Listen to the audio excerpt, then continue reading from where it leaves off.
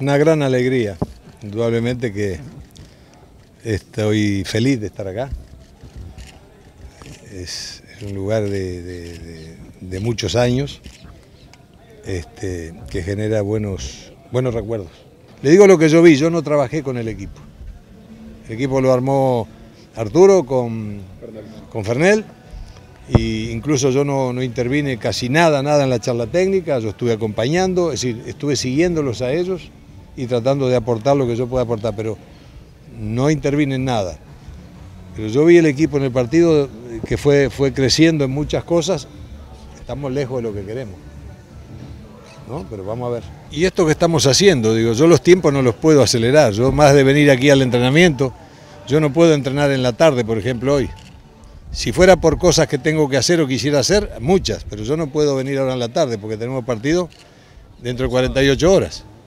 Entonces vinimos con este grupo, hicimos un buen trabajo, me alcanzó para ver estado actual de, los jugadores, más o menos, algunas cosas que me, me, interesa a mí de mis equipos y que me gusta ver cómo están.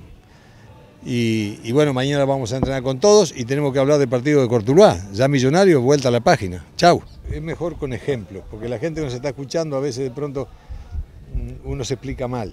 Este, si vos mañana estás, contratado por, el no sé, el periódico más importante del país, y vas con esa ilusión de triunfar allí y te mandan a hacer una nota, qué sé yo, al presidente de la República, y al otro día la publican y la nota salió un desastre, y todo el mundo te empieza a atacar y a decir que eso es un desastre, que eso es un desastre, seguramente la, la que tengas que escribir en esos días vas a estar medio angustiado, vas a estar un poquito, porque somos humanos hay gente que pareciera que no les importa nada, que no, no viven de lo que piensan los demás, y me parece bárbaro, lo felicito. Pero los seres humanos no somos todos iguales. Entonces a veces nos preocupa mucho más lo que piensan los demás de nosotros que lo que pensamos nosotros, en qué estamos equivocados y en qué debemos mejorar y qué tenemos que hacer. Ahora estaba hablando con ellos de esos temas. Nosotros no tenemos que, no nos pongamos en víctima, no busquemos las cosas afuera cuando tenemos que buscarlas en el interior nuestro. Afuera vamos a encontrar elogio cuando nos va bien y crítica cuando perdemos. Eso es normal acá y en cualquier lado. Entonces busquemos interior, en nuestro interior, la fortaleza para creer en nosotros, preparar y trabajarnos porque no hay otra receta. No pongamos tampoco, no hagamos misterio a esto y jugar lo que nosotros podemos jugar. Y pensar en el triunfo, nada más, ¿no? Yo no veo otra cosa. Ustedes se van a reír y van a decir, pero este tipo está loco. Yo no he leído ni he visto todavía una tabla en estos días no la he mirado. Yo tengo claro que van cuántos, nueve fechas. nueve fechas. Nueve junior. Nueve junior. O sea que nos queda uno atrasado. Nacional. O sea que cuántos puntos nos quedan por jugar? Son 20 fechas. ¿No? 11. ¿Nos quedan 11? No, más. 11. Van 9. Nos quedan 11 porque hemos jugado 9. Bueno, listo. Nos quedan 11. 33 puntos, correcto. ¿Cuántos puntos tenemos? Con el ayer 7. 33. Queda, ¿Y 7? ¿Cuánto necesitamos para llegar? Para llegar a 31, para llegar a 31, ¿cuánto necesitamos? 24. 24. Bueno, 31, 50% más 1, estamos adentro, creo. Eh, por lo general. Entonces, si queda, tenemos que hacer 24 de cuántos?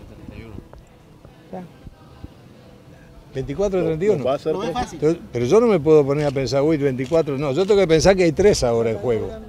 Ni fácil ni difícil. Hay que ganar. Es decir, no tiene que no, que si mañana llueve, que si sale el sol, no, hay que ganar. Y si, eh, como ayer, eh, teníamos que ganar, pero empatamos, bueno, sumamos un puntito.